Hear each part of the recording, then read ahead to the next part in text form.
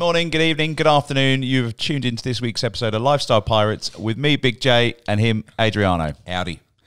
This week we're joined by performer and entertainer Julian Kuo. Mate, good morning. How are you? G'day, guys. How are you? Very well. Very Fantastic. That's good. well. Um, how the last few months been? How have you been? You're you're back kind of front and center on stage, but take us through, well, the last few months. Uh, I I guess they've been a bit crazy for everyone, so Mm. um, it's not, not new news there. But um, we were shut down at the show on the 25th of June. Yep.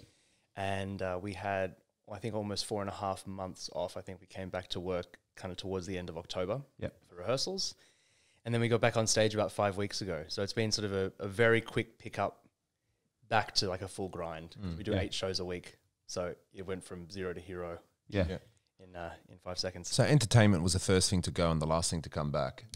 Yeah, generally, I mean, it, it's it's generally tends to be hospitality and entertainment and service industries where you've got like a lot of people in the same space that took a long time to come back, um, and especially obviously indoor work. So like sporting arenas, obviously they brought back sooner because you could be outside. Um, but it took us a while to kind of get back to a point where people also were willing to kind of come out Mm. because obviously, like you know, we've got two and a, two and a bit thousand people in, in the room. Mm. So for people to kind of feel comfortable with being in Yeah. that space with that many people, that takes some time. Yeah, I bet it does. So what does an entertainer do when there's no entertainment available? we hustle. Yeah. We hustle and we hustle and we hustle. Um, the, look, the thing about entertaining, I guess, and, and the entertainment industry in general is that we're kind of all very used to not having a regular job. Mm. So for us, like a regular job is sort of the the nice calm period where we can kind of just do what we do and not think about everything else. Um, but for me personally, I also do a lot of teaching. So I kind of fell back on that. I did a lot of online kind of vocal teaching and coaching, and then um, just sort of actually invest time in the work that we were doing currently. I mean, we were lucky; we were really supported through government payments, but also through the company, um, and they gave us a lot of support financially, so we could kind of dig into the material. We could kind of go further into character. We could go further into the music. We could really invest our time in the work, which actually, when you're ironically doing a show, you don't always have the time to do that sort of analytical stuff. You don't have time to always sit down and do it because you're, you're on stage or you're rehearsing something else. Or you're trying to do the next thing, the next thing, the next thing. yeah. So having the time to actually really slow and do really detailed work hmm. was actually kind of like it was a little bit of a blessing in disguise, Yeah. despite the fact that it was a grind of going, we don't know when, Yeah. how, even if we're actually coming back. So that was the kind of the stressful part was just kind of going, does this return or not? But we were, we had every hope and every confidence that it would. How is the vibe now? Is it is it like electrified or multiplied now that it, you know entertainment has come back and you're like we we finally can do what we love doing again? Is it different now? I think we're all really, really, really grateful to be back at work. I mean, it, it's it's an odd thing. Like, I guess it's the same for everyone. We didn't, we never expected to be told that basically our profession was illegal for eighteen months. We couldn't, we literally couldn't do what we do. Um, and a lot of us in the entertainment industry, especially actors or performers or directors or people who are you know really into creative work, we're really driven by our careers and by our profession. So when you're not allowed to do what you do, there's often kind of a bit of an identity crisis that kind of comes from that. Yeah. So for us, being back at work is just a nice kind of calming influence to say we're back. We don't have to prove anything anymore. We can we can just do it and Mm. enjoy it and be grateful to be back, um, and not necessarily always give in as well to the kind of stresses and the the kind of garbage that we add to the work, the stresses that we add to the work Mm. because we're just happy to be back. Mm. Did you find that um some people sort of question their industry because it's so quickly to be able to be taken away? So there must have been people saying like, "Oh, do I want to be in this industry where they can just take away everything I I am?" Yeah, definitely. Yeah. I mean, You mentioned identity crisis. It's like taking away your identity, really. Yeah, I, I think we all we all question this game all the time because like it's such it's such a risk. Mm. You know, like rocking up to work if you've got a if you've got a normal uh, I'll put in brackets a, a traditional career, A nine to five. a nine Yeah. to five. Um, we sometimes call them muggles. Probably a bit of a dickhead way to talk about it, but but if you if you have a traditional career where you know you go to work, you go to your office, you get a salary, you get all the benefits of that, you know, there's a lot of security in that. Whereas for us, we don't. You know, we go from gig to gig to job to job to job to job, and at the end of the day, you can only pay your bills if you're in work at that time. So how people choose to do that is different. You know, I teach, I do a lot of kind of band work and sort of independent work as well. But we're always kind of looking over our shoulder, going, okay, is this is what I do worth the sacrifices that come with it? You know, we kind of sometimes always we can't always afford to buy a house. We can't always afford to buy a car or to you know feel comfortable enough or, or secure enough to do the traditional kind of life steps. Mm. And so sometimes we feel like tho- those structures are, are so morphed that I think we're always questioning whether or not it's what we actually really kind of want. And I think the one thing that COVID has done for a lot of our industry is it's either solidified that we want to do it or it's pushed people completely away from it Yeah. left to center because it's you you had to really want to stick in it to stick in it over the last little while. Yeah, definitely. And and how about you? How have you come out? I've come out I've come out with a kind of a, a similar outlook as I went in. I think that I mean I have a lot of hobbies and a lot of interests and a lot of things that I enjoy outside of my work, and that's always what's kept me sane during those down periods. And like I have things to to enjoy. I have I don't I don't like considering myself only what I do, um, and I have a lot of different people in my life from different hobbies and, and different sort of like different jobs and on and off that I've done. And so I never felt completely isolated or kind of uh, separated from from life or from reality when I when I was in isolation. I sort of just kept doing the things that I'd done for a long time, and um, and I haven't actually at, at the end of the day done a lot of long term commercial projects. I've always done sort of like short one month, two month gigs, and then you know the corporate and band work that I do, and then teaching. So actually, for the first lockdown, my life wasn't particularly affected. I just wasn't performing. I was just teaching. I was just doing the one side of my my normal job. This time has been different because I got really used to being on stage for three months or working in one thing for three or four months, and then it got shut down. So that was a really different, kind of slightly more jarring experience this year. But overall, no, it, it's it's definitely made me go. I know, I know this is this is what I want to do, um, and it's it's just sort of made me focus in on exactly what I want from it instead of Yeah. feeling quite as generalized. I think. Yeah, awesome. So so how did you get into this? Because you've been doing this since you were eleven, Yeah. uh, or you've been you've been a performer since you were eleven. We had um we had a movement director Mm-hmm. on last in the in the last show, and um yeah, she was saying her family it was very very evident. Her family saw that she was going to be on stage. Like, Right. uh, what was your kind of journey into this space? Um, my my family have always loved music. Yep. So I grew up around music a lot. Um, my grandmother and my mother especially both absolutely love jazz and swing and that sort of era. Frank Sinatra, Dean Martin, Sammy Davis. Um, and so I got interested in music through them. And then when I was about eleven, I stumbled into opera. Um, and so I sang with Australian Opera for about four or five years, doing children's chorus work and a couple of juvenile principal roles. So Magic Flute, I was first boy. And I sort of just got addicted to that from that age. Um, and I, I studied it from then onwards. And I, I don't know, I just sort of never really considered properly anything else. I kind of dabbled in other thoughts and I was like, maybe I should do something different. Yeah. And every time I kind of like got right to the point of going, I'm gonna I'm gonna commit and leave, something else from this side of my life pulled me back in. And Yeah. so kind of by about 23, 24, I was like, no, that's this is telling me everything tells me that just to, just to keep going on this and something will something will work out. So what would uh, what was your inspiration for getting into it? Do you is there an inspiration for what you do? I think it just comes from the love of the, the work itself and the love of, of music and of, of storytelling in general. Um, I think the really important thing that, that comes from jazz and from swing and from that era of music, the kind of great American songbook, uh, Cole Porter, George Gershwin, all those kind of guys, um, is that everything is focused around a lyric and around storytelling and around personal experience and about the human condition and all these sort of trigger words. Um, but they're, they're real.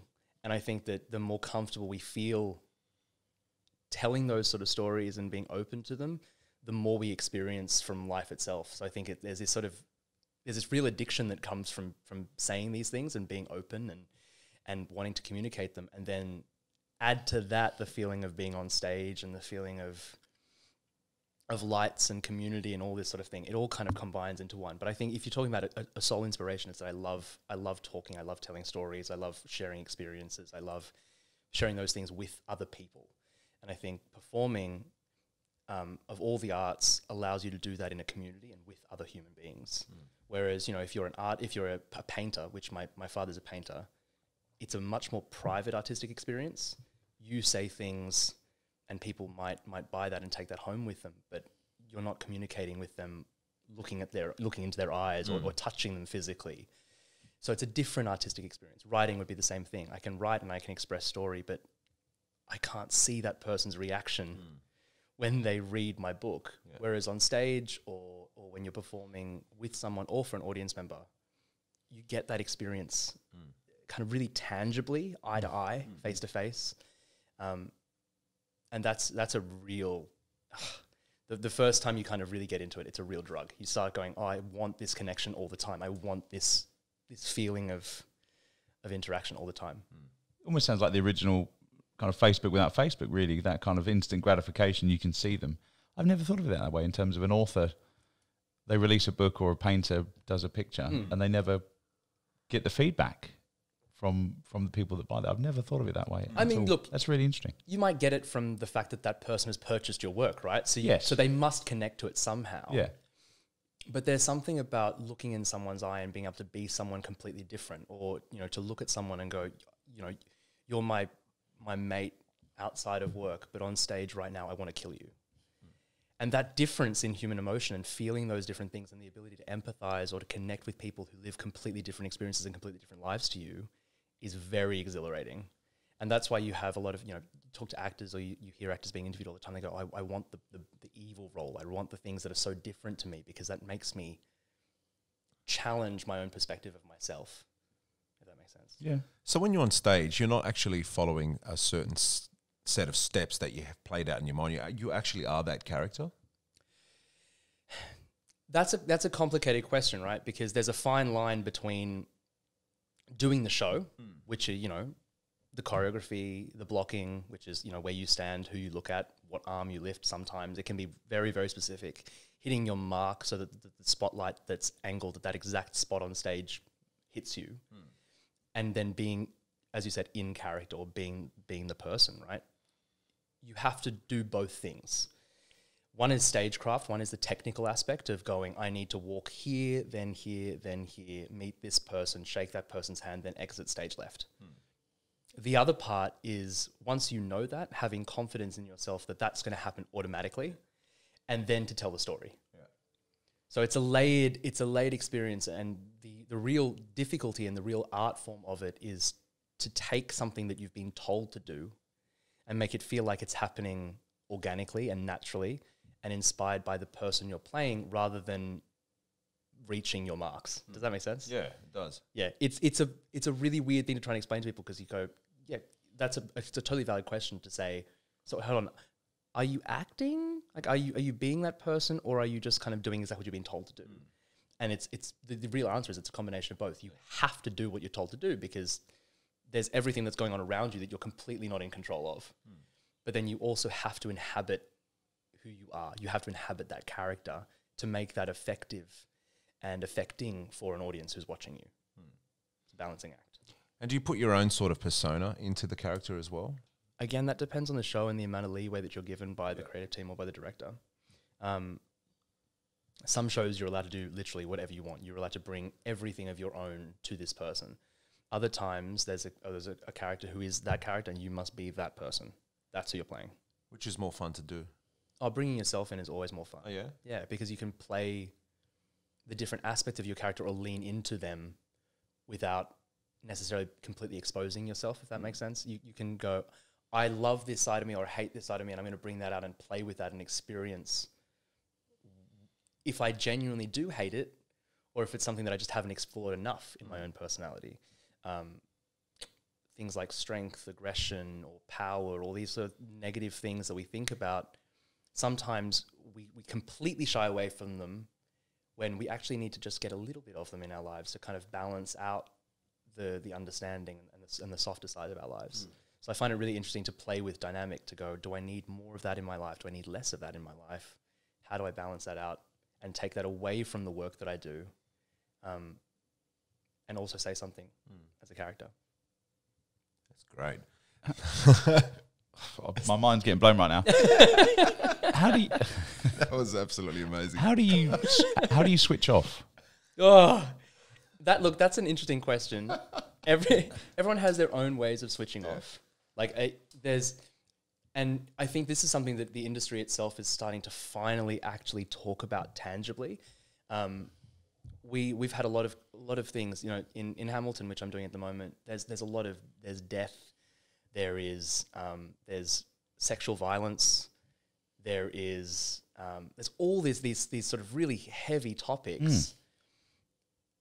And there are nights when you come to work and you're completely discon- the reality is you're completely disconnected and you don't you don't necessarily connect with everything because there's something that's happened in your day that you've been like, oh, I'm just obsessed with that now, so I can't focus on what I'm doing.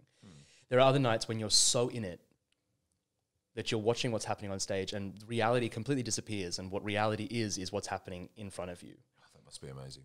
it's it's amazing, but it's also really, really, really difficult to then leave that space mm. and leave the shit that you've dealt with on that stage on that stage. And so that's why I think that it's affected so many people in the industry, generally speaking, mental health, because you know, I said before, right? The way that you look at someone on stage is different to the way you look at them in real life. Mm. Someone might have, mi- I might, I might absolutely hate someone on stage, on, like mm. off stage, but they might have to be my lover on. Mm. And so th- that sense of who people are and people's identity kind of gets completely blurred as Yeah. soon as you step on. And so to step off, you have to just sort of take a breath, reconnect. And the way that I do it personally is I fall back on the, the other things that I love. So I, you know, I really like fashion. I really like, I love English football. Um, Thank you for calling it football. no problem. No problem. Yeah, someone called it soccer the other day, and I was like, ah, leave, leave my space. Um, you know, I have all these sort of hobbies that I enjoy. I enjoy food, like these sort of, and so what I like to do is remove myself from that space and go and, and go and do something towards that. If I'm having a day where I feel overly connected to the work or overly emotionally affected by the work. Other people have different techniques. Some people will, you know, go home and meditate for a period of time. Some people will um, do something physical, something tangible, like a, I don't know, they'll do a, a sauna or they'll do they'll go for a run or there's lots of different ways. Um, but I think it's really important that that people start to to take that element of the industry more seriously going forward because it, it really does affect people quite quite heavily because of the work. Mm. I think we've seen that as well with people working from home again in, in their nine to five, which is again has become totally blurred. Where people working seven till seven, seven till eight, they're you know they're, they're rolling out of their bed, not even really getting dressed. They just crack on with work, and so it does blur that. You know, your home is now your office, was now your gym, is mm-hmm. now your you know, you know therapy session. You know, it's, it's, it It's everything. th- there's nowhere to switch off now. And people, I think, I was listening to a podcast the other day, and there was people talking about their commute, and some people were actually saying, "I really look forward to getting my commute back because it was my preparation up for the day and my come down after the day." And I would listen to some tunes, or I'd listen to a podcast, or I'd read a book on the train, and they they've lost that, Totally. and therefore they're just engaged and exhausted. I 'cause mean, on. it's interesting, right? Because that's that experience of life where your job is your is your bubble, is your life. Mm. It's kind of what we go through all the time. In that my my job never stops. I never really completely switch off. I do a lot of my, my preparation from home. I'll do I'll learn material from home. You know, and a lot of a lot of the times a performer or an entertainer's social life is our work because at the end of the day when we work you're playing mm. you know i go to work when people when, when the general when when most people are having lunch on the weekend or are going out for a drink on saturday night we're at work mm. so it it means that it, it can feel quite isolationist in that sense. And like you know the people that we see at those sort of normal times that people are going out for dinner with their partner mm. are when i'm at work with my colleagues. Mm. And so there's this real kind of confusion sometimes of blurring the lines between work and, and, and life. Um, so it's an interesting it's interesting hearing you speak about about a you know a working from home situation and that confusion coming into to a lot of people. Is it, does that mean it's hard um, from a relationship standpoint as well? It's hard from a general relationship standpoint with anyone, friends, family, partner outside of work because your times are just completely different. Yeah. Um, so you have to you have to really make a concerted effort to to maintain those relationships in Yeah. those situations. Yeah. Um, you mentioned that you're in Hamilton, Mm-hmm. um, which I think is, you know, I think it's broken every record that I, that a that a, a show and a production can break. Um, walk me through how that came about. Uh, we, I remember finding out it was coming, uh, probably sort of like the middle of 2019. I probably found out that it was coming here, um, and so I got an audition for it. I did a couple of rounds of those audition processes in person. The final round that I did in person, I remember was in Melbourne in February of 2020, right before kind of lockdown properly hit. Yeah. And then the final rounds of the audition process were all via Zoom and via self tape. So we had to film ourselves doing the material and then send that in to people. Um, and then I found out that I booked the job sort of late 2020, and then we started this year. And so, how does that process work? Because I see on your website you got a manager. Mm-hmm. So, do they do they go, "Hey, Julian, w- w- this is coming in.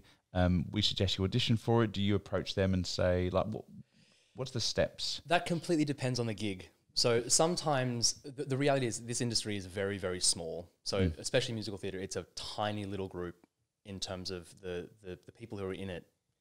You're in it. Yeah, And so you know people who are in it Yeah. and you hear things on the grapevine hmm. a lot of the time, a long time before people know Yeah. it's coming. it's like like the any worst kept industry. secrets. Oh, they're awfully kept secrets. And you'll hear a rumor and you'll call your agent and you'll go, hey, I've heard this is coming. Yeah, Keep an eye on it for me. yeah, Or you have something that just pops up out of nowhere because there happened to be an availability at the theatre. And so then your agent will reach out going, hey, this is coming, here's the audition. Um, either way, basically the system works that your agent will just will talk to the casting agent Yep. and um, or submit you for an audition. And then you either get accepted or denied for that audition. So you either get told, no, you're not right for the show, so we're not going to see you, or they say, yeah, come on in. And then you prepare material. So it might be your own choices of material, or it might be something that the casting director has given you to prepare. right. You go in, you do that audition. And then again, it depends on the show how many rounds of auditions you have. So you might have three or four rounds, you might have two rounds, you might do one audition and book the job. It completely depends on the people involved within that production company and Yeah. with- within that casting company and that and that show. Yeah, So how long does it usually take that that bracket? Time wise, the casting process is kind of fluctuates anywhere between sort of two and six months normally. The Hamilton casting process was a lot. I think it took us almost. I, I, I did my first round in like September. It- My my process for Hamilton was probably almost twelve months. Wow. wow. But I think that was probably Surely also that's stressful. ah. no, the, the hard the hard part is yeah, Clearly. the, the hard part is going in, doing the job, doing the audition, and then going, I now can't afford in my life to think about what I just did. Because if I leave that audition room and think about how I performed in that anywhere between five minutes and half an hour in that audition room, I'm just going to do nothing else. I'm just going to sit there going, Did I get that? Did I get that? Did I? And you start analyzing everything within each of its life. You know, you start going, Did I raise my hand at a bad time there? Oh my God. Did that look? Did that look really wrong? Or did I sing flat? Was that was that note flat, or was that out of was that out of time? I don't know. And so you have to kind of I've I've learned now for myself that I have to go into an audition room, leave the audition room, and then just forget about it, Yeah. or at least do my best and just not think about it again, until I get that call from my agent saying, "Hey, you got a call back." And then you go, "Great, think about it again, think about it again," until the next time happens. Um, and that means that it doesn't start, start completely consuming your life. Otherwise, all you literally all you end up thinking about is if you got that or not. And the reality is probably you find out a yes whenever, you, obviously, if you get it, but you don't always find out a no. So sometimes they just don't contact you. Yeah. We'll call Um, you. They don't call. They don't call. and so if you don't find out, there's this sort of like That sounded traumatic thing. for you, there, buddy. They, they don't call. They never They call. never call. They never call. Is there a bit of guilt there as well? so much built in right now. Um, That but that must be hard to let go if you don't know as well. Like if you don't get the call. look, generally speaking, if I haven't heard within like two or three weeks, I'm like, "Oh, I didn't get that. Yeah. Or I haven't heard anything. The hard one is when like you go in for audition and all of a sudden the next two weeks come and there's a cast announcement. You're like, oh, I definitely didn't get that because they got that. Oh, ouch. Yeah.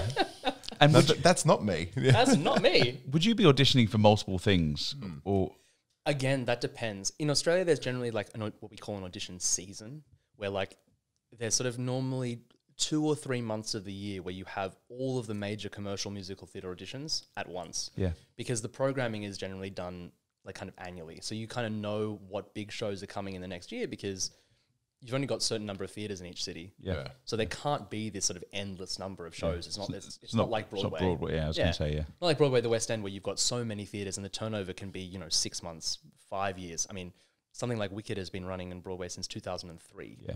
Oh, like, I mean, how? Oh, with, the same, with the same cast? Oh no, the, the cast obviously changes and shifts, but there's always someone who's. I mean, there's one one of the guys. Uh, I think there's one original cast member still on Broadway for Hamilton, and that's been on since 2015. That's a lot of shows. It's a lot of shows. You're doing eight shows a week. You know, you you it's a lot of shows. Wow. I think Chicago's been on Broadway now, this consistent production for 25 years. So, you know, on those in those sort of companies, you, you can work for a, a hmm. long period of time. Whereas here, generally speaking, most commercial shows will run for anywhere between sort of like six, like three to nine months in one place. If you go for longer than that, you, you're in a really great position and you're very, very lucky, and they don't come along very often. So you can kind of know what's coming in the in the future. But that audition period happens, and you know a lot of the times this is what's happened to me for you know a lot of my career until I kind of had I started I started booking things and kind of getting a bit of a, bit of momentum up in hmm. about 2019. But a lot of times you'll go into that audition season, you won't book something, and you'll go, okay, great, well, that means I'm not doing that this year. Mm. This coming year, I'm going to be teaching. I'm going to do doing my gigs. Yeah. I'm doing my, my, my hustle. And then the season comes up again, and you go, let's see what happens. Cross fingers. Yeah. Whatever happens, happens. You go in, you don't get anything again. You go, great, same thing next year. Yeah. And then you get lucky, and something like this comes along, and I go, "Wow, I, I can look ahead to this year and know what I'm doing. Yeah. Yeah. I don't think it's luck. Have though. no doubts. It's it's 50-50 luck and work. Yeah. I think there's there's you know I'm I'm not going to in any way shape or form saying that it's complete luck, but there is there is an element of of that because I'm not in control of what shows are coming here. Mm. Yeah. Yeah. So I have to basically go, you know, if the show comes that's suitable for me, and then I then I have to go, okay, great. I know I can do this. Hmm. I know this fits my skill set. I know this fits who I am. I know this fits a lot of these different things. Now I'm in control. Now I have to do the best the best job that I can possibly do in that audition room to make that casting agent, make that producer, make that director believe in my ability. Mm. And then when I get the job, I have to back that up Yeah. right? So it's like this constant thing after getting it. But there is an element of luck that comes from it that goes, you happen to be in the right place at the right time, available, hmm. tick boxes. You'd get that with your gigs as well. Yeah. So But they're never cool. they, they never call. Wow, um, there's a lot of the- there's a lot of build. We'll get into that after off mic. Um, so eight shows a week. So sometimes you hear about people saying, "Oh, that was the best show I've ever done." Like, do they vary? Like, what makes a show? If you're doing two a day, what makes one show better than the other? Is is it that everyone's on on point? Like, or is it just something that you feel yourself? That depends on the person and where, the way they talk about those sort of things. A, a best show ever or a really great show is a show where you go on and generally speaking, you know, there are limited mistakes that you make for me. Everyone would make mistakes. Ah, you- yeah. I mean, look, the magic of live theater and the magic of doing things in person is the fact that you know you only get one shot at it mm. on that on that day, mm. and there's always a moment when you go on stage where you're like, "Oh, do I do I know this? I do I?" Do you ever get that? Just like brain oh, freeze. I had it the other day, and I was on stage, and I was about to sing this song, and I'm sitting down, and I have to stand up, and I have to make this little toast, and I was sitting down, and I was going, "Oh God, I don't remember what this lyric is." I, I do I for the life of me I have no idea what I'm about to say. I just I just don't know what I'm about to say. I don't know what this word is. And I was listening to the others on stage saying their lines, and I was like, I don't know, I don't know, I don't know, I don't know. Oh Jesus Christ, I don't know what I'm doing. I don't know what I'm doing. And I was like, just breathe, trust yourself. And as I stood up, my mouth just opened and I started saying the words. And I was like, oh, Jesus. you were just the passenger. Oh, you're the, you're the passenger. Yeah, because because you're you've done it so you've rehearsed it so much that your body does things sometimes Yeah. without you thinking about them. Yeah. And as soon as you start thinking about them, that's when you make mistakes. that's when it goes to shit because you you start second guessing everything that your body knows. Hmm. And so your hand starts doing this and you're like, "Oh." and you just have to trust. Yeah. Like, and you know, there are times when it won't come out. Hmm.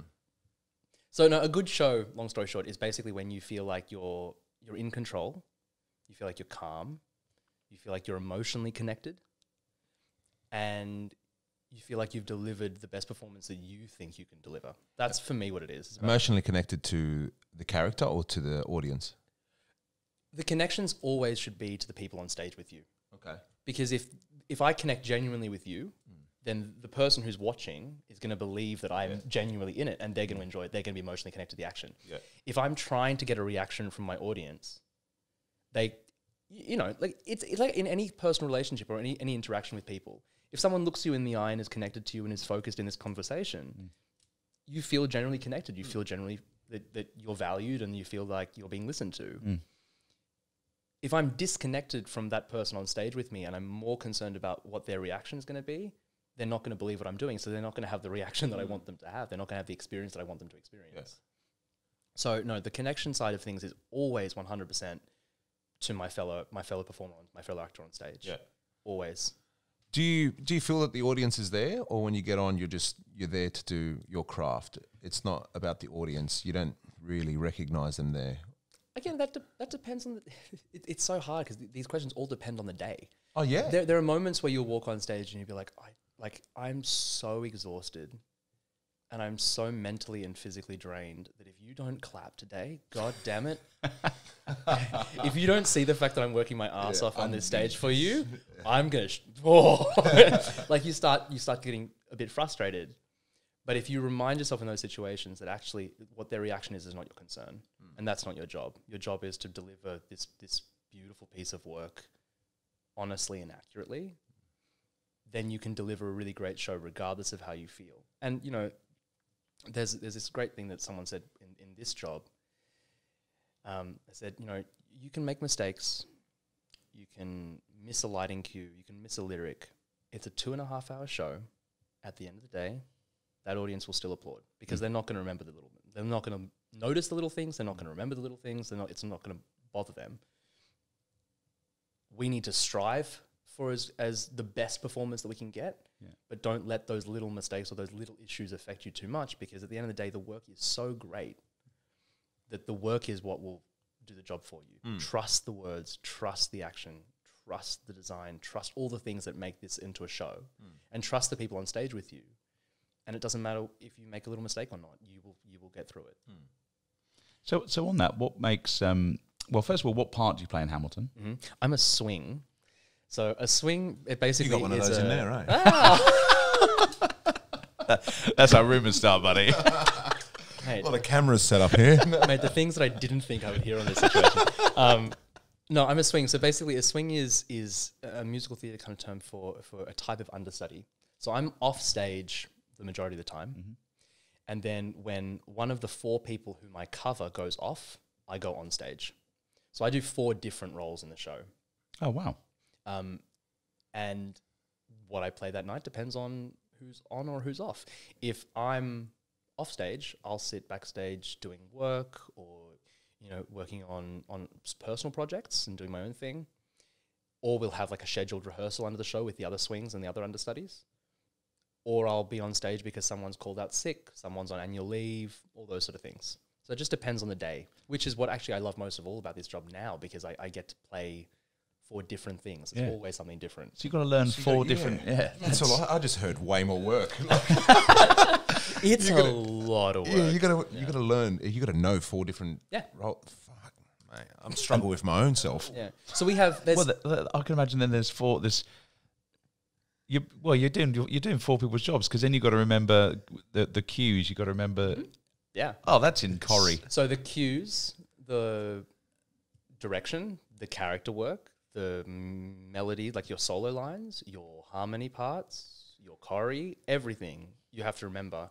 Your traffic. So your traffic is basically like I walk there, you walk there, you cross behind me. I make sure I need to fall in behind you, otherwise I don't get to Yeah, the that line would time. be so confusing. Yeah, and so basically, you know, we learn for. I mean, all the swings in this show cover, all the, all the understudies and the offstage cast cover between anywhere between three and six different roles. And there's fifty. does that mean they get six salaries? Yeah that's what well, no, no, it awesome. doesn't. But if you imagine it this way, um, there are fifty-two individual pieces of music in this show. Mm. So Which again, that set a record as well, didn't it? Uh, I'm not sure if it's a record, Or but it's it's a that's a large amount of music. I mean, Hamilton's sung through, so it's more like an opera than a traditional musical. There's no dialogue in it per se; it's all sung. And it's all like for those of the that don't know, this all like rap and hip yeah, hop. rap, hip hop, R and B, soul, pop. Yeah, it's a it's a really fresh score. It's like Yeah. a really really different score. Um, But you know, 52 songs in the show, you don't do every single one of them, but you have to learn essentially 52 different version, well, four different versions of all of those pieces. You have to know when you're off, when you're on, where you come in from, all that sort of stuff for for different people in the show. And then sometimes in a rehearsal environment, the director or the person running the rehearsal will go, "Hey, can you just do that role to, that role for this moment, then do that role for that song, just because we're missing people today, and I need you to cover something else." And so you're on stage going, "Okay, great. So I'm that person now. Now I'm switching." Yeah, because you learn things generally in sequence. Yeah. So when you have to shuffle and go there, there, there now, you, it, it takes you five seconds sometimes to go. Great, that's where I'm going today. Only five seconds. Fuck. it I, I need a whole new day for this. I was going to say, my, my should, I tell you, should I tell you the image I have in my um, my it. head? Is it's the um, the London Underground Mm-hmm. map Yep. where it's just lines everywhere. Yeah. That's my, I I can't quite process what you're saying because my my mind's gone to London London Underground because whenever I looked at it, I'd be like, I don't know what I'm doing. there's like the best way I can describe it is there's like there's triggers for things. So if I'm playing one role, I know that I talk to and I might be talking to Hamilton in one moment. And after I do that, this is what I'm talking about before when I said trust yourself, trust your body, trust your mind, is that I know I shake that person's hand and when I turn around, I know after that shake physically what my body does. And that's what connects hmm. these sort of like pathways in my brain to get me to where I need to be. Yeah.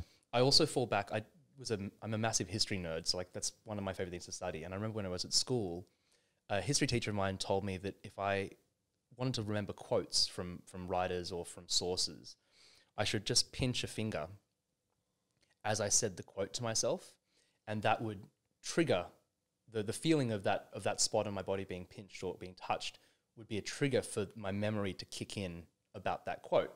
And I was doing modern history, and I did all the histories at school, and so I would basically just have quotes attributed to every knuckle on my fingers, and they would that would be how I would get through get exams done and things like that. I would be like, which what am I looking for today? What am I looking for? And I would find the one that I was looking for, and that would be what I wrote down. I And just used to write the answers on mine. Did you not have a biro?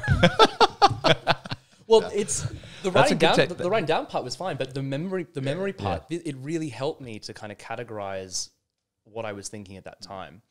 And so sometimes I I do this little exercise where I where I take my thumbs and my fingers and I just touch my fingers. Hmm. And if I just concentrate on the feeling of that, I can tune into what I need to be actually focusing on at that time. Um, and it helps me just to separate each individual part into into pieces. And then I have what I call what we call cheat sheets, which are basically like I've got my iPad backstage and I have lists of entries and exits for each role. So that if I haven't done a role in say three months, I can be like, holy shit, I need to check this now. And I can check down and I can see, you know, this character enters from stage right. And straight away, it triggers the whole process. Yeah, again. a lot of the time the physical action will trigger the the response. Yeah. So if I if I know where I'm e- entering from, all of a sudden I see the stage from a certain perspective, and I'm like, oh great, I now I know where I am. Yeah, yeah. It's just knowing where you're coming. A, a a lot of the time for me, honestly, it's knowing where to come in from, and once that happens, just to go, okay, great, throw that away. Yeah. Trust now. That's awesome. Um, you mentioned that it's a very small circuit, right? So everyone sort of knows everyone. Is it always the same faces at every sort of musical theatre, like show? That's look. That's a really interesting question. I mean, we, I think the world and this industry especially is currently grappling with this issue. Um, for a long time in Australia, yeah, it's and I think a long time across the world in this industry, it's been the same face at every audition. You know who you're going to see, and that's it's kind of lovely at the same time. Or at one in one way, Jesus, speak. Um, but in another way, it's difficult because we want these industries, especially in the arts, where we talk so much about diversity and inclusion and accessibility. We want there to be opportunities for everyone. And for a long time, there really haven't been. We've been a very closed circuit. There's been a, a small group of people who have access to it. And uh, largely that's because the training process for this industry is long, expensive. And if you don't start kind of around the time I started, in reality, it's very difficult to get into it.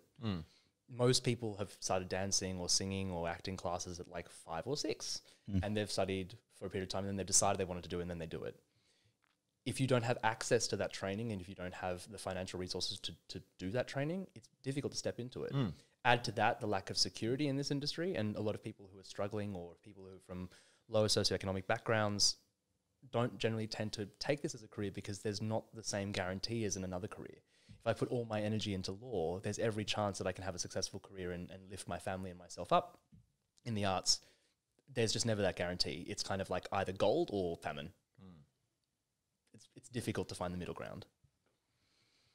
Would um would there be no, I don't want to use the word corruption, but since there's always the same people that are turning up, is there bias towards those people? Or what were there? There's a lot more diversity now, you mentioned, but was there a lot more bias back then? Uh, d- look, diversity is growing, and, and diversity is growing because we're making a concerted effort to grow it. Does something like Hamilton help that process as well? One hundred Because, percent. So the lead actor is a is a is a man of color, whereas obviously Washington George Washington was a white guy. So Well, I mean, the whole cast. Generally speaking, Hamilton is about casting a show like the streets of today look. yes, So instead of having a whole bunch of Anglo-Saxon people, which is kind of unrealistic to how Sydney streets look, how New York streets look, how London street looks. Yep. In fact, how global streets look Yeah, these days. everywhere. Yes, please, thank you. Um, we, the, the, the way that the casting is done is it's it's casting how the society actually functions and actually looks. yeah, And it's giving voices and giving opportunities to people who would not normally be looked at as George Washington and Thomas Jefferson, who was, goddamn it, at the end of the day, a slave owner. You know, he was not a person of color. Yeah. Um, Yeah. and so, yeah, the shows like this are really making space for that diversity actively. But I think there's there's still room for people to make make space for diversity in a more subconscious way, in a way that, like, you know, if, if something's not written for a certain ethnicity, why can't an Asian or a person of color or a, a, a, Latinx man or, or, or woman or why can't we play anything mm. unless we're telling a story about a specific group of people? Mm. You know, and in that case, like, you know, you can't do hairspray without an African American cast because hairspray at the end of the day is a musical about segregation. Mm. So it should be it should be with people who experience that or with people who, you know, who culturally understand what that means to them. Yeah. Um, but I no to answer your question, that was a very roundabout way to get to it. To answer your love it. question is um, it's like any industry. You you the best way to grow your career and the best way to to to move up through your career is to foster your relationships. Yeah. And so, you know, I think people start off as colleagues, they become friends. And so yes, there is naturally, I think, there is there has been at least a tendency to lean towards, yes, a, a kind of interior closed community. Um, and that's again both a positive and a negative.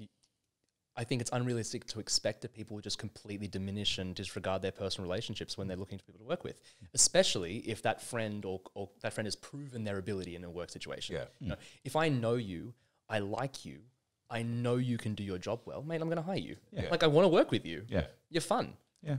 And the reality is, is again, what I said before about you know our lives being so connected to social aspects because of the times in which we work. Mm. Man, I don't want to spend a Saturday night with a guy I don't like. Like I just don't want to do that. Yeah. I mean, musicians, like when I do gigs, we, we I've, I've got a rule that I that I live by for, for work when it comes to music and when it comes to performing the sort of like temporary gigs. You must have two of the three of these things. Yep. The hang must be good, the music must be good, the material must be good, or the pay must be good. So I can have a really well paying gig with really great tunes, but a really shit hang. When you say hang, the venue. Like no, like the people. Oh, right. Like okay. I can, I can really like I can really dislike the people, and I can still do that gig because like the material's good, the pay's good, and yeah, I can have a really really good vibe with the people I'm working with, a good hang. Yeah. I can have really killer tunes and shit pay, and Yeah. be like, nah, it's good. Yeah, I'll spend my Saturday night like that. yeah. But I have to have, I have to have two of the three, because that makes it worth my time. I really like that. And generally speaking, that's the way that I decide all of my work now. I'm like, okay, if I have two of these three things, then I have every confidence. Hmm. A lot of the times when we take work, especially for theatre, we don't know. Hmm. We never know. We don't necessarily know what the hang is going to be like. Yeah. So you're like, no, does it pay well? yes. Is the material good? Yes. It's worth the risk. And then sometimes you just luck out and you get a you get a three, hmm. and you get all three in a line, and you're like, this is this is the life. Hmm. This is great. So what had ha- what had happened for you to come? I've written that down, by the way. I'm, I'm so taking that. What had happened for you to come up with this model? Something obviously. What was the trigger there? Something something bad had happened, or Not necessarily bad. you it's worked just like with a donut.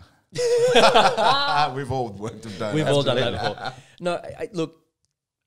Sometimes I was hanging out with guys or, or girls doing gigs, and I was like, I was sitting there going, "Jesus, I don't, I don't like you at all." Mm. Yeah. And I was like, "Am I enjoying this job? No, I'm really disliking this." And I was like, "Is this worth it?" And I looked at the paycheck, and I was like, absolutely, it's no, it's not worth it Yeah. at all. Yeah. And so I think it's just sort of become this thing where I'm like, that, those are the three things that I need in my life. I need, I need people because I love, I love people. I love connecting with people. It's Yeah. just, it's what drew me, I think, to this industry in the first place. I have career aspirations and I have things that I want to achieve. So, you know, at the end of the day, money is always important. Of course. And then the work itself, I don't want to be doing shit. Mm. Like I don't, I have no interest in performing things that I don't feel passionate about, that I don't want to deliver at the best of my ability. Mm. So it's just a three. Yeah. It works. What what would um in in terms of shows, Hamilton's obviously not going to go on forever. Mhm. Um, what would you want to do next if you could have your your ideal show to do? Oh. Look, my, my dream show is very, very niche. it's a show called The Wild Party by Andrew Lippa. Um, so you, you'll look at me like, mm, mm." um, and that's fine. Um, that would be my dream show, but that's probably not going to come here for, you know, it's not a very Australian show. It's not something that we kind of do here regularly. Yep. But I honestly, I don't have, I don't have something that I want to do next. I just, my career aspiration is very simple. I want to be able to live my life comfortably doing what I love doing. Mm. That's it. I don't need, I don't really feel a need to have celebrity or kind of be be um, pat on the back for what I do. I just want to, I want to be able to go to work and do something that I'm really passionate about and enjoy the way that I spend my time earning my. Mm. Yeah. That's it. There's something very lovely about that as well. You know, just just want to be comfortable doing what you love. Yeah, it's personal satisfaction. It's it's it's knowing that every day that I go to work, I'm contributing something. That's all. So when you're so you're in the in the space right now of Hamilton, are you Mm. still doing your other your teaching and everything? How much how much of your day to day life does it consume? Do you always have to be thinking about you know staying in shape or sta staying in that mindset for Hamilton, or or can you do your other stuff, your teaching and Look, I can do my other stuff, but I do my other stuff much more selectively now than I did before because I'm not beholden to that to earn my living. Mm. So I, I will, you know, people will reach out to me for coaching sessions or for tu- for teaching, and I'll say, great, yes, I have the time and I have the mental capacity, and I want to do that because I respect you as a, I respect you and I, I enjoy working with you again. Mm. Or I say, no, I'm, I, I need to focus, be completely focused on what I'm doing currently in the show. Mm-hmm. Um, 100% you need to be focused on your ability to do your job because at the end of the day, that's the person who's paying your salary right Yeah. now. So part of my day always is eating right, waking up at the right times, trying to get enough sleep, getting to the gym, warming up properly, keeping yourself healthy. Because at the end of the day, eight show eight shows a week is you know we are a we're different to athletes, but we have to get on stage and perform physically Mm. all that time. So if if we're not in shape and we're not healthy, your body collapses very very very quickly on you. Mm. Um, Yeah, the stamina. yeah, and it's injury prevention before treatment. Yeah. Like I want to make sure that I I want to try and make sure I don't get injured before having to deal with an injury and then fix that injury because that can take a lot of time. And obviously we have to we have to come to an acceptance that, you know, like star athletes who get injured in a football game, right? Those injuries are going to come Mm. Because we can't do everything perfectly all the time. But if I can put my body in the absolute best position that it is to function at the highest of its ability, then when that injury does come, I'm in a position where that recovery might take me three to four weeks instead of six months. So I want to make sure that that's that's the case. That I'm not out for a long, long, long period of time. There are parts in, um, say, musical theatre or actions that you carry out that do hurt, aren't there? Or you try, or, you, or it's always injury prevention. Uh, the do hurt is in like, as in the things that you're asked to do can can Yeah. be physically painful. Yeah, taxing. Well, like WWF. Yeah, sure. I mean, that's the type of performance, isn't it? that's an honest type of performance. Um, Fair, fair. no, Could like, be that. I- yeah, there, there are things that are definitely physically taxing. There's nothing that sh- if you do things with the proper technique and you know how to do them, and the choreographer or the people mounting the show have done the work and doing it things properly, nothing should be a direct cause of injury. Okay. They shouldn't be getting you to do something that you don't know how to do properly and that isn't safe to do on stage. There is always risk. Mm. You know, if I'm dropping to the floor in any way, shape, or form, if I drop to the floor in the wrong way, I can injure myself. Yeah. If I'm lifting someone in the air, or if someone's lifting someone in the air or being lifted, there's every chance that that lift could go wrong. But as I said, you you prepare and you control what you can control to the absolute best of your ability, Yeah. so that you're preventing things before they happen as much as you possibly can. So spoke just before about that plays like uh, your favorite play that you would like or not play, the musical theatre that you want to act out. Is is there sort of is is this just in my mind? Is there like a big goal to get everyone wants to go to Broadway or what is it so what is so fascinating about Broadway? I don't know. The, Please, I'm a mechanic, so help me out here. man, I, you can talk about mechanics if you want. Um, no, I look. I Is there plans to go overseas and work in that strip? there's no direct plan. I'm not like I must do that. Um, there's a lot of things that come with with Broadway. There's a certain there's a sense of magic Mm. on Broadway that you, if you love what we love to do, it for a mechanic. Imagine the difference between working on I don't know Joe Blow from down the road's Toyota Corolla that's from 1995 versus working on an F1 Mm. that's that's kind of the way that it can be seen. Broadway is the F1 of the theater world. It's like you are with the best of the best. Yeah. But the amazing thing about the the modern theater world is that those shows that are on Broadway go all over the world. You know, Hamilton started on Broadway. We're doing exactly the same show here as they do on Broadway. Mm. It's the same piece. It's the same writing. It's the same choreo. We've had you know people from the states come and teach it to us. It it's that show. Mm. The only difference is that I'm doing it in Sydney instead Yeah. of instead of on in New York, um, and I you know have healthcare Yeah. and gun control. Yay, Big ups. positives. um, but th- there's always a magic. There's something about. I just, I point, just yeah. point out the fact. Yeah. Um, there's something about there is something about Broadway though, or about New York, or about the West End, or about these places that are known for theatre that is just there's just this addiction that starts. Mm. You know, the last time I was in New York, I was there for I was there for three months, and you know, I would go to a I would go to a show pretty much every other night, and then after that show, or before that show, or in the wee hours of the morning, I'd go to a jazz club, and you'd just be like, this is this is not our reality here. That You just sounds have- fantastic. Yeah. Like I, I would go to a show, show would finish at 10 11 o'clock. I'd go to a jazz bar in, in down, downtown called Smalls. And they'd have like a you know a five dollar cover charge. You'd go in, you'd listen to music until four AM and stumble home the next morning. We don't we just don't have that sort of like rolling culture here as much as I would love it to be. Um, and so there is something magic about yeah, dreaming about maybe doing that one day, but it's not like it's something that I'm going, if I don't do, I'm a failure. Mm. That's never been a thought. It's like if it happens, amazing. If it doesn't, eh, it's fine. You, you kind of make a good point there. I mean, I mean, what's your thoughts, kind of post COVID, about you know, and, and I think Adriano mentioned it. You know, entertainment, uh, hospitality have been the last people to kind of come back in the mix. Um, we all have a lot of habit, uh, you know, hab- some some habitual behaviour has formed in COVID, be it you know streaming, binge, you know, game online gaming, you know, all that kind of stuff.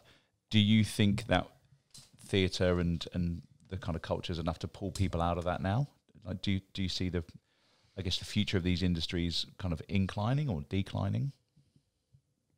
I think that it might take a second for them to return properly. Mm. But I look, this is the thing. Maybe my perspective is all sorts of wrong and, and kind of misinformed. But t- to me, I think that people crave human connection. Mm. I think that the, one of the reasons why things like Twitch and streaming have taken off so rapidly in the last kind of 18 months is because people weren't happy to sit at home playing a video game by themselves. They wanted people to play with. Mm-hmm. That's why online gaming started in the first place, right? Like it's looking for community, and it was just a community that, that formed out of that. It's why a lot of these online forums actually started out. It's because, like, you know, I love watches. Mm. The reason why watches became this massive thing online was because all of a sudden I wasn't the only one who was like, oh, I'm obsessed with these little tiny movements and these little tiny things. I'm weird. Why am I obsessed with these things? you go online, all of a sudden you realize there's this whole community who love it. I'm You're like, holy one. shit, I'm not the only person. In fact, there are people who are way more obsessed with this shit than I am. And you get to share information, you get to talk with people who are passionate about the same things as you. And at the end of the day, right, like that's what we want. Mm. We don't want to be isolated and sitting in, and sitting in our own space. And so while I think it might take a little bit of time for people to have the confidence again to interact the way that we did pre-COVID, I think that we're going to get back Yeah. to a point where actually we're going to double down a little bit, mm. in my opinion, and people are going to want to be able to go out all the time to interact with people again, to touch again, to see mm. again, to have a drink and share in a community again in whatever way they choose. You know, whether that be going to the football on a Friday night, whether that be going to the theater on a Saturday, whether that be going to a cafe in the middle of the week. There just tends to, I, I think that I can already see people wanting that connection again. So I, I don't think these industries will ever die or ever go away or ever completely change. The way that we digest them may change. Um, I mean, I think that's that's the big thing that we've learned from streaming services is that you know people will not go to the go to the cinema, for instance, as regularly as they would before. But that doesn't mean they're not consuming the product. It just means they're consuming the product in a slightly different fashion. Yeah. So, as someone who you know would love to invest and produce maybe one day, that doesn't give me any less confidence in the market. It doesn't make me go like I, th- I think my money might be better placed elsewhere. It makes me go great. I just need to think smarter about the way that this industry progresses forward, about the way that we see it moving. Hmm. I like that. I like Yeah. that. I mean, look, it's it's one of the things I'm massively grateful for my, my family doing when I was growing up. We used to go to theatre a hell of a lot.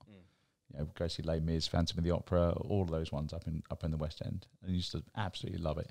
It's one of the things I miss here. Actually, it's mm. just not having the access to your point, you know, all, all year and the choice because it does tend to be just a few that come here. There's so much small theatre in Sydney. Like Sydney's indie the- indie theatre scene is jumping. Like that, we, some of the best work that I've seen in a long time in Australia has been done by Sydney's independent theatres. Griffin, Belvoir, The Hayes in, in Potts Point. There's so many great small theatres. The problem is, is that the access and the publicity behind those those smaller theatres is not is not as big as it should be, hmm. and so people know what's on at Sydney Theatre Company at STC. They know what's going on at Bell Shakespeare sometimes if you're into Shakespeare, and they know what's happening in the big commercial theatres because the commercial theatres slap you over the face with their marketing Yeah, the other ones don't have the funding, nor do they have the, per, the the backing privately to really put it in your face. And so, because of that, a lot of those shows will get seen by this small group of people who are regular audience members and no one else. And while that's really lovely that we've got those small audiences, the way that this industry will grow in this country is if we see real backing and real support to get it to the people because people want it. yeah, Some people are not going to go to the theater if they don't have the option. You know, you might go once a year, but if you go once a year and you experience something that sh- that that shifts your perspective on something, then that's an amazing thing. And you might go and see two things the next, three things the next, four things the next. You know, um, or you might go and see something that's really dirt cheap. That's like a ten dollar ticket at the Sydney Fringe Festival when you're a student. But that might embed a love of theatre in you that means that by the time you're earning a living and a really and really comfortable by the time you're 30 or 35, you're happy to spend the 250 $300 tickets on a big show and that's what we need in this in, in this country right now is a real support for this small scale work that means that you get an audience for life instead of getting an audience for five minutes you know it, think of think of things like products right like when I started collecting watches, I, c- I couldn't go and buy a Tudor. I couldn't buy look think about buying a Cartier or you know or anything like that. But you buy small scale vintage and you kind of get you dabble in it. You kind of start buying two hundred fifty dollar pieces, hundred dollar pieces, and then by the time you feel like you can actually afford something, you can buy. You jump into the market and you feel like oh, okay, now I'm I'm part of this world, so I don't feel scared by it anymore. I don't feel intimidated by it anymore. And it's the same thing with live theater. Provided you can make it not scary for people, and not so expensive that it's just completely isolationist and, and, and cuts off a large variety of the population, people will come. yeah. People want it. Well, you just educated me on like three or four different venues that I've never heard. Yeah. Yeah. Since I've lived here, so Yeah. I'll, I'll grab those names, and you can tell you love watches because you refer to them as pieces rather than watches. so, what's your favourite piece? Dangerous. It's dangerous. Oh, I don't It's know, a I don't very know. expensive. Yeah, it's a very expensive It's, hobby. it's not a good hobby as an artist. It's a really Yeah, yeah. bad hobby. Next, as you'll an be saying, "I also drink really expensive whiskey and wine, and Yeah. I like cars too." Yeah. Oh, you do, you right? do, I'll shut up. I'll shut up. I'll shut up. Um, I like those things. Yeah. It- they're the fun things. They're the things that I, you know, I enjoy talking about because they're just so completely different to what I do mm. for a living. And that's mm. what I said before. It's just it's a way to disconnect and enjoy things that are, you know, and you know that way. Like I'm a member of a couple of watch groups in Sydney, and we c- I can talk to people who are in law, who are in business, or in medicine, and you connect and learn things from those people. And then when you go to performing and you go to your actual job, you take those life experiences, you understand people a bit more which is what's so amazing about these little kind of crazy hobbies. Um, my favorite piece, long term, long story short, I've got a this. I bought this Tudor Black Bay 36 last year, which I love, Lovely. and I just got a vintage Cartier Tank de Must from the 1980s, which I love as well. Oh, nice. Nice. My two favorites in the collections Lovely. currently. Very good. Yeah, Very good. And I, just to go back to your point in terms of you learning Mm-hmm. uh, and engaging, I can imagine it's good for people to engage and, and learn from you in terms of your life and, and your day to day. And um, again almost humanizing theatre. You know, um, humanizing being an actor and a performer, because I think when you're on stage, there is this element of there's an us and them piece, Mm. which is great, but then everybody's a human, right? Totally. So.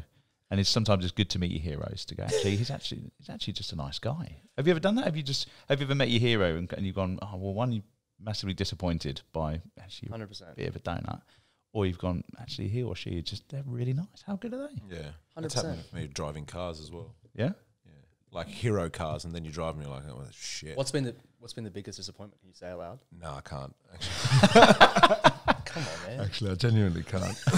I'll tell you after. I'll tell me I'll tell you after. after. after. go get Corolla. Yeah, horrible. Tell me How after. about, about people though, because I remember when I used to do, I used to run the events here, Mm-hmm. which actually how him and I met, and I remember booking a DJ from overseas, meeting him, and just really not impressed by him as a as a Yeah. person. Just like you are, no, no. I think that what you said about about good people to learn from me. I mean, I look. I think we all learn from each other in a different way. Absolutely, yeah. The one thing that I will say though is that I think that a lot of people have this perspective of the arts that it's not an industry, that it's not a real industry. Hmm. And a lot of times, if you you know if you meet someone out, and you're like, hey, you know, what do you do? And you go, oh, you know, I'm, I'm a performer, I'm an actor. They're like, oh, so what else do you do? Mm. You're like, mm, I mean, that's what I do. I can make you Like, laugh. I do that a lot, Yeah. um, and I also do it and get paid for it Yeah. and earn a living for it. So it's just as much, just as valid as whatever you're doing. Yeah. I mean, it's different, and we have our sacrifice and we have the things that we do, but it's it's an industry. It's a real serious industry. Um, and so I think it's it's important for people to talk about the arts not just as something that we're passionate about, but as a really important part of a modern economy and a modern world. Um, you know, we I, I think the statistic was something that we brought in something like s- there's something like seventy billion dollars in the Australian economy is arts related. That's a lot of money. Yeah. A lot of money. It's a it's a big amount of money. Yeah. Um, and you know, during lockdown, what were people doing? They were streaming. They were watching movies. They were watching TV shows. They were playing video games. They're all elements of this industry. Um, and so I think bringing perspective to that and going and showing that you know we we can really live a we can live a pro- proper life in this industry is really important. Mm. And it's going to encourage more people to, to take the risk because if the industry is taken seriously as a whole, people see a future in it. If people see it, if the society itself sees things as a hobby, then that's what they remain. And people don't encourage you to get involved in it. Mm. So the only way we can grow it and make it more accessible and make it something that people feel free to experience and really invest in and, and enjoy is if it's a viable option for people. Make it a viable option. And we have to, in that way, talk about business. We have to treat people, talk people through the tax system. We have to talk mm. people through invoicing, through you know valuing your work. Like we talk to you know, like anyone who sets their own rates, anyone who owns a small business must you know set the prices for things. Yeah. And so if we have these industry standards and we talk about these things regularly, then we become a legitimate other workplace instead of feeling like we're sort of, you know, in our own little bubble in our own little world, which we're, we're not. We're Yeah. connected to everyone else. We comment on everyone's lives. That's why we're effective. Yeah. And is that is that around now in terms of that Oh, big time. initial help and Ah, no, the initial help. I- well, I guess how like how do you put a value on on you? That's look in in a in a in a small business sense, in a, in a in a gig economy sense, when I'm invoicing, that's a very difficult thing to do at the beginning of your career. Yeah. Because you go, well, what what makes me worth this amount of money Yeah. to perform for you for this amount of time? Um, there is a certain sense of an industry standard, and that industry standard is slowly being refined and, and, and kind of becoming more and more specific. Um, so is that like a minimum wage kind of vibe? Would you fall under that of. minimum wage stuff? Not under, not- sorry, would, would kind of similar guidelines? Uh, no, it's slightly different. There's sort of like a minimum fee that's slowly being agreed to by the Musicians Alliance and by you know the Entertainment Union that says these are the minimum fees that you should charge as a musician for this amount of time. So if I do a gig of th- for three hours at a pub, this is the amount of money that I should be charging. Yeah. And you can check those things on the union if you if you know to go there. Oh yeah. But a lot of the times, people will you know a pub will call you up as an 18 year old when you're just starting out and be like, hey man, I'll offer you 50 bucks. Yeah. And you gotta say yes, like getting a chance to perform. And what you what you don't well yeah, and I what you don't used to start DJ for realizing, free. no, right? but what you don't start realizing is you're actually undercutting an entire market. You're undercutting your entire industry and all your colleagues by by agreeing to take that job for fifty You're dollars. setting the market. Yeah. You're setting the market. Um, acting is slightly different in that uh, MEAA, the Media Arts and Equity, oh, I can't remember what it's MEAA, our union and Equity have agreed basically equity minimums. So if you do a job for a commercial producer, there is a minimum fee that you must be paid for that job for performances. There is a minimum fee that you must be paid for an independent production, and it's scaled depending on what the abilities of that producer are. So that's a bit different. But when you're charging and quoting for yourself, you have to really learn how to do that. Mm. And like again, in any other business, you have to learn then how to increase your prices and how to actually run a proper business instead of barely getting by doing a gig. Like, you know, we have overheads or we have things that we need to cover ourselves and we need to factor those into our pricings. Yeah, of course. But we're not, I don't think that it's spoken about enough in an education perspective to really set people off on the right foot from the beginning of their career. You kind of stumble across it and you learn it as you go slowly but surely. Yeah.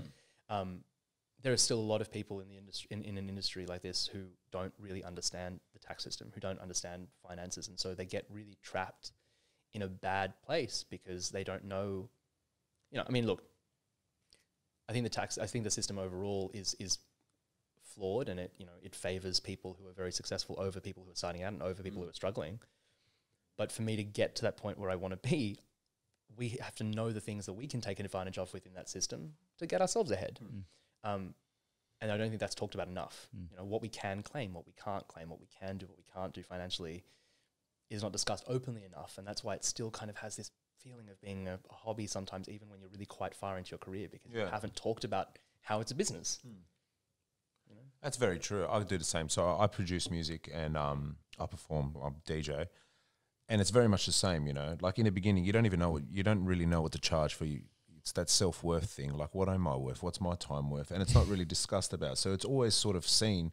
Well, I know my uh, craft. I'm going to call it um, is sort of seen. Oh, it's just a you know a hobby. And it's like no, it's not. You know, like this is serious shit. We're getting booked all over the world. We've got record releases. Yeah. Like it's it's no longer a hobby now. you Absolutely know? not. Yeah. And when you rock up for a night of work, you're working. Mm. It might be fun. Like I love, I don't get me wrong, I absolutely love what I do, but that does not mean that I haven't spent the last 20, 20 years of my life training to do it, and that I'm not pretty good at it. Yeah. Like, you know, You can beat your own chest. You're good. yeah, at it. you can you can fix my car.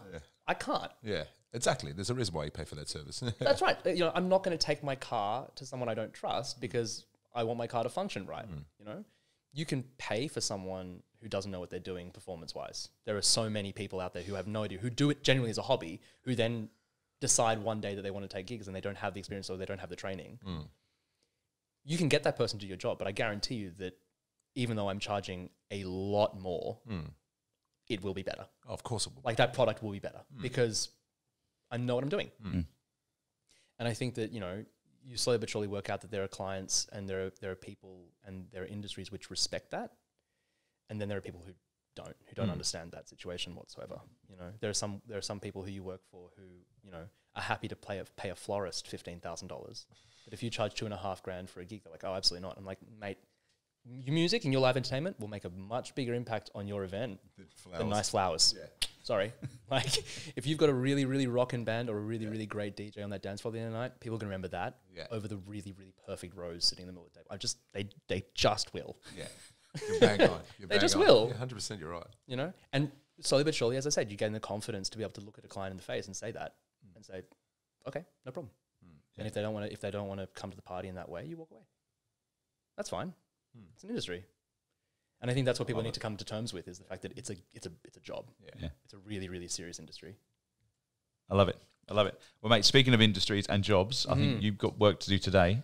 Yeah, double show today. Double show today. double show today. What's the break like? Uh, the matinee starts at two. It'll come down at five, and then the hour call for the evening is six thirty. So hmm. an hour and a half completely off, and then hour call. Yeah, full on. Far out. Hmm. Well, mate, I'm going to ask my, my question to before we wrap up. Shoot. What's one of the things that you've learnt in COVID Mm-hmm. that you will take forward, whether it be a ritual, whether it be you know behavior, or what's one of the things? I think it's just to value the time that you spend with people. Um, yeah, it's just to value that time more. Get off something, get off your phone, get off what you're doing, and actively sit and look at someone and talk to them and listen to them. And, you know, the more we do that, I think the more we're going to understand about everything, the more we can understand different opinions, different perspectives, different life situations. Hmm. And I think we're going to become a society that doesn't judge people straight off the bat for one thing instead of look at people and see a complicated human being. I, I think I just think that's what we're missing. I think that we've missed the entire time is like I don't discrimination and, and, and anger towards another human being is not because I don't like you, it's because I don't understand you. Mm. So if I can sit and look at you in the face and see you as another human being and shake your hand or have a conversation with you, I can I can understand a lot more, Mm. and I can work out how we. I think we can, as a, as a society, move forward with a lot of these issues that are so controversial and so difficult to talk about. Just be okay with talking about. Them. Mm. I love that. Yeah, I that. think the last two people that we've had on this show have been from the creative space, and to be honest, I I've learned so much from it. It's been fantastic. It's all, and the theme seems to to be living in the here and now, Yeah, hundred percent. which is something that I, I, I need to do a lot more of. It's really hard though. Yeah. It, it's it is so much easier said than done to do that because you have to then be okay with being where you are. Hmm. And a lot of us are not okay with that. You know, we want to achieve things, we want things, but if I'm if I'm not here and I'm not doing the thing right now, then what am I doing that for when I'm 60? Hmm. No. I hmm. don't want to I don't I don't want to have all those things and be sort of comfortable then. I want to enjoy myself right now. Hmm. You know. That's it. Just want to I just yeah. Looking and, and spending those time with people and, and, and not worrying all the time about where you're going is infinitely more rewarding to me than always looking over my shoulder. Yeah. Well, thank you very much for coming on the show today. Thank you Um, how can people get a hold of you? Um, Instagram, LinkedIn. I'm name on, I'm on everything. I'm probably mostly mostly contactable via Instagram if we're talking socials. So just Yeah. Julian Kuo, J U L I A N K U O, uh, 27 at uh, on Instagram. You're the 27th one. I don't know why. Look, look it, you know, I got Instagram when it started, and I was like, yeah, it'll do. Yeah. And I didn't think ahead, so that's right. Thank you very much for coming on. It's been awesome. Thanks, man. All right, Pleasure. enjoy Hamilton as well. Thank you very Um, much. going with uh, Vanessa and Diana and my uncle to actually in a couple weeks, in a week. Hit me up. Yeah, Let me know when you're in. yeah, can't Just wait. wait. You'll be there waving. I know him. Man, I'll, I'll, I'll probably message you from backstage and be like, man, I'm sleeping tonight. So enjoy the show. what what character are you today? I know, right? In Well, my mate- dressing room on a beanbag, watching TV. That's what awesome. I do. Awesome. Thank you very much for your time. Thank really you very appreciate much. it. Thanks, guys. Thanks for having me.